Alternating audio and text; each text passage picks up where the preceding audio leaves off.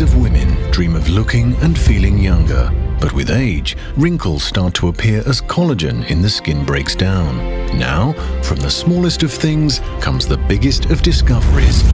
Plant stem cells. From the heart of a plant, Oriflame extracted the most precious cell of all.